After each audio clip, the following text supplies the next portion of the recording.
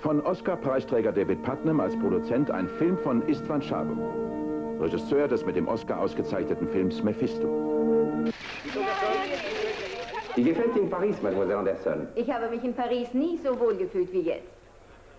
Die Diva war launisch. Die Inszenierung empörend.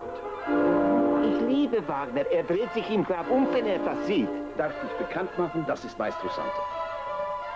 Mhm. Hat man Ihnen erzählt, was ich über Sie gesagt habe? Nein. Das ist aber schade. Die Künstler wollen nicht mitspielen. Schwuler! Kommunisten, Nazi! Ich bring dich Schwuler! Können wir dem nicht endlich das Maul stopfen? Und niemand versteht des anderen Sprache. Sie verstehen doch Ungarisch, ne? Digga. Bravo. Ein Meisterwerk. Was ist los? Schöpferischen Wahnsinns.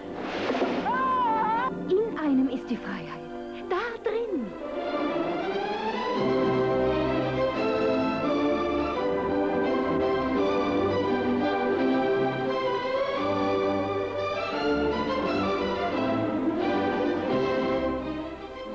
Passion, Leidenschaft, Liebe, Intrigen, Wahnsinn.